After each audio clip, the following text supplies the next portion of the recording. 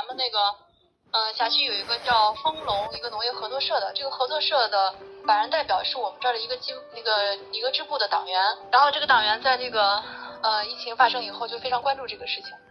到现在他就坚持每天就利用这个这个机子给大家可以那个街道然后各个村